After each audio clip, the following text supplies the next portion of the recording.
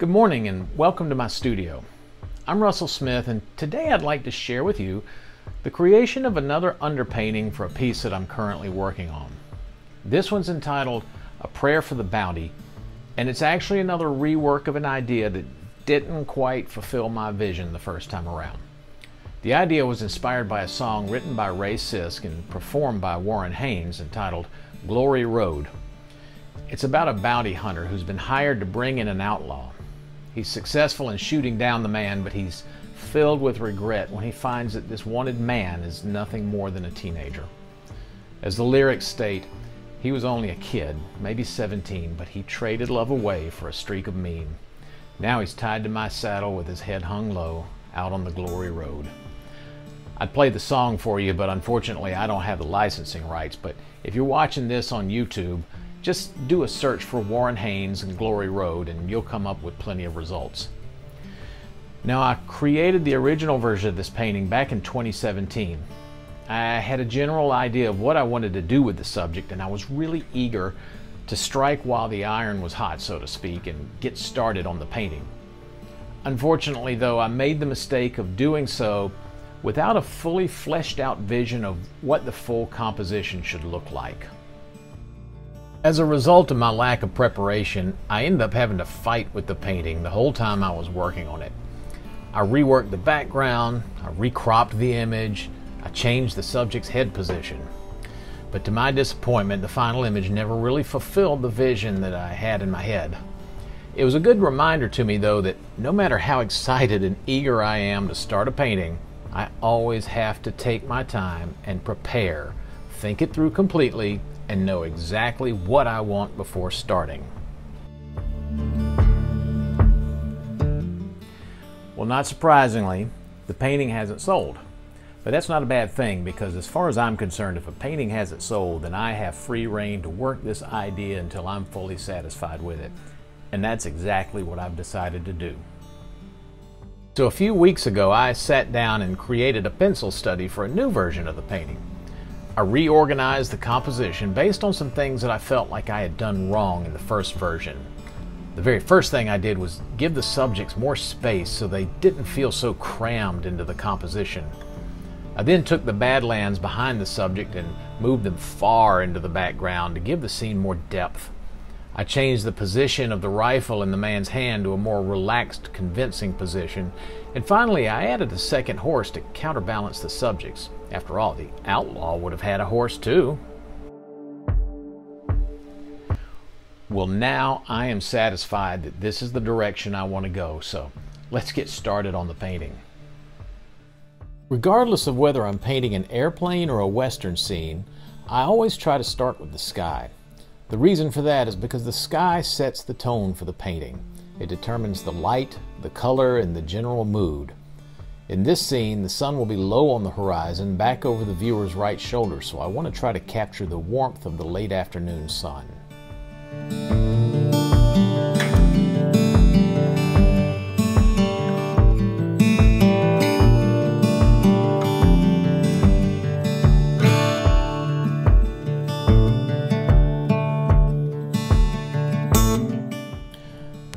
With the sky painted in, now I'm going to move on to the subject's face. This is the focal point of the painting, and much of the story here is going to be told in his face. Fortunately, my model, Gary, is one of the best out there, and he was really able to capture the emotion here that I wanted to convey.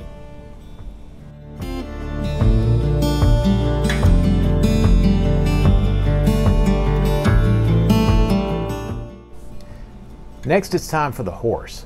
I've gotten to where I really enjoy painting horses.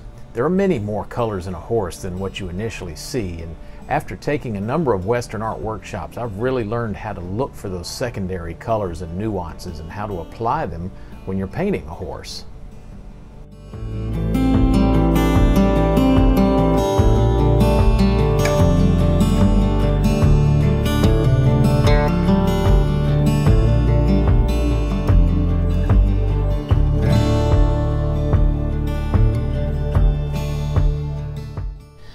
Now we're on day two of painting, and the first thing I decided to do is remove the breast collar from the horse that I had painted the day before.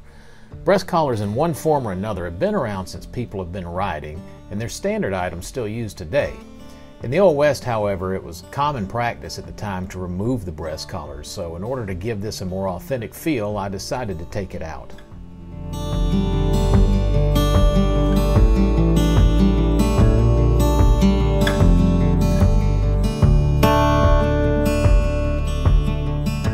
You can't tell from this angle, but after working on the horse for a little while, I began to suspect that I might be painting it a little too warm, especially in the shadow areas.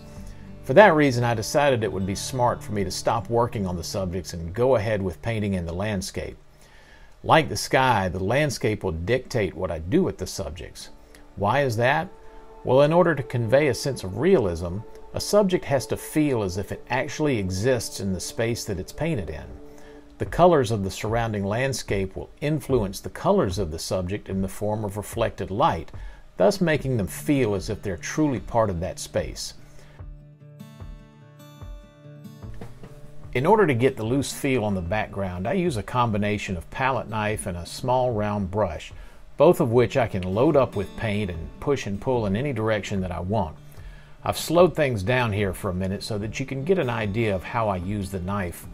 As you can see, I'm both pushing the knife into the canvas as well as scraping it across. And each time I pick up more paint from the palette, I try to load it up with multiple colors so that when I lay them down on the canvas, I get some nice random variations in the overall color. I'll use that same technique if I switch to a brush. I'm working in a fairly small space right here, but when I move on to larger areas, the technique doesn't change, only the strokes get larger.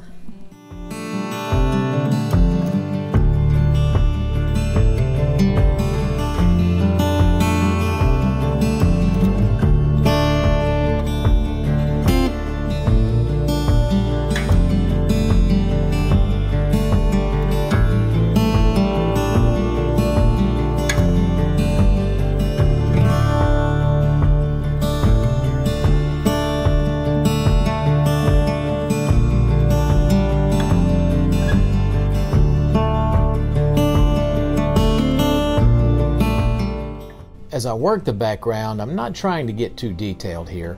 My main goal is simply to establish the main value and color masses and try to capture the feel of the sage and prairie grass.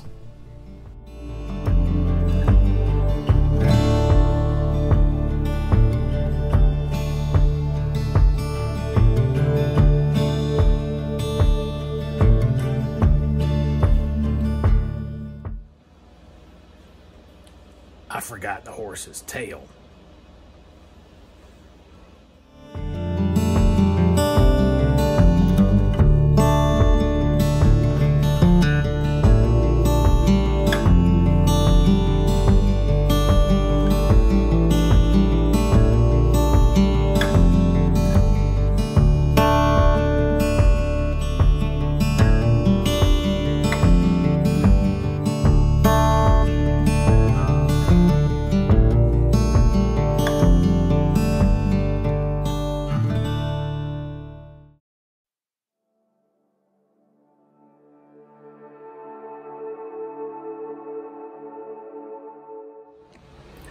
Work hack.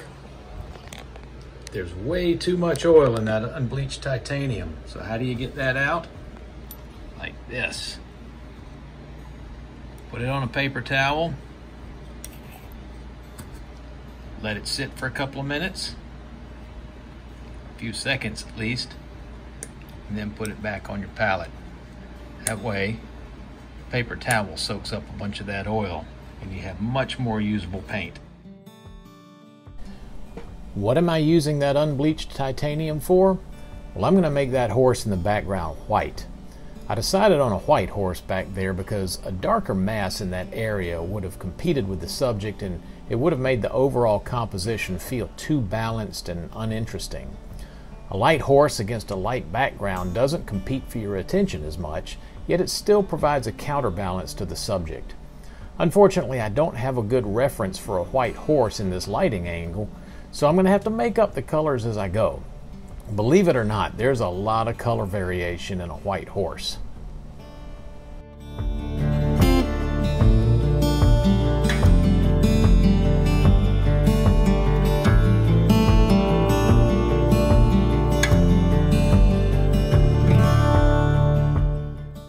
Lastly, I need to paint in the dead outlaw tied over the saddle. Now, to be honest, the question has lingered in my mind as to whether anyone will even consider buying a painting with a dead body depicted in it. But I can't leave it out since it's a central part of the story, and I really don't want that factor to sway me from painting this scene since this is a story I want to tell. After all, why else would I paint it twice? The best approach here is just to keep the corpse low key and keep the focus on the bounty hunter.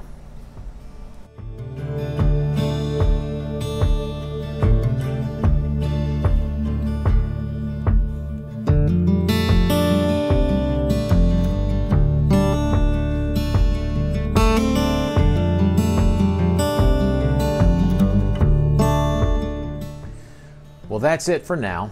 The underpainting's finished and I'm happy with the direction it's going. I'll set this aside for a couple of weeks and go on and work on other projects. And then maybe in two or three weeks, I'll come back to it with a fresh set of eyes, see if I need to make any changes or adjustments to it, and I'll finish the painting out.